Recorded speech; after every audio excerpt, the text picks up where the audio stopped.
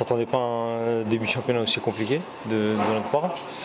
On a beaucoup de déceptions sur cette défaite et euh, on va dire que euh, l'efficacité de Metz a, a parlé aujourd'hui. Nous, on manque un peu d'efficacité euh, devant pour, euh, pour gagner, des matchs. Et euh, voilà, le, le FC Metz est, est en haut, un peu tout leur réussi. Et nous, c'est un petit peu compliqué, mais avec le travail, ça va venir.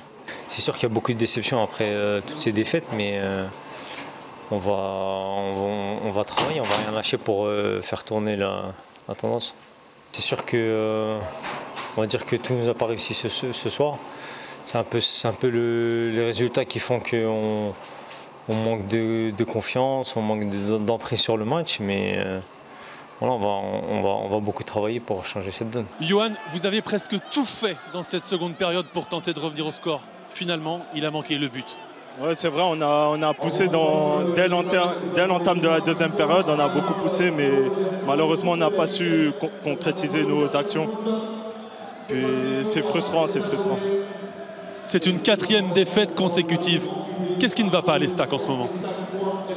Écoutez, ben, on travaille, on travaille pour. euh, je sais que ça va venir, j'ai confiance.